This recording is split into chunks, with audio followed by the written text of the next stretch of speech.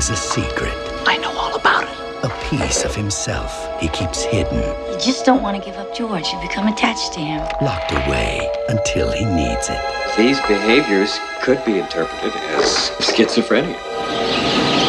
Away from the light, safe in the shadows. I wrote those words, and I have no recollection of doing it. But sometimes secrets take on a life of their own.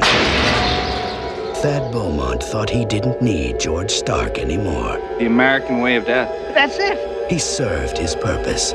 Time to lay him to rest. But George is not about to go quietly. You really don't realize what you're like when you write those books, do you? It's like watching Jekyll turn into Hyde.